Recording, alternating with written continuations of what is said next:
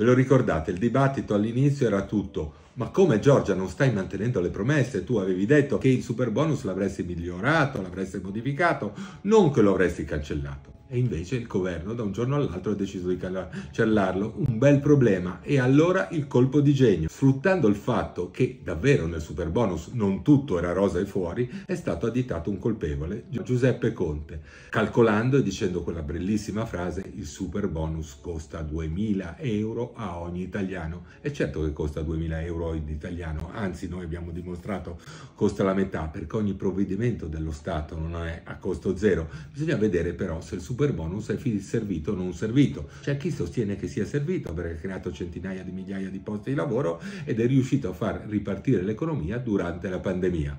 Ma lo spin di Miloni è stato certamente vincente. Nessuno parla più della sua mancata promessa e tutti parlano delle responsabilità di Conte.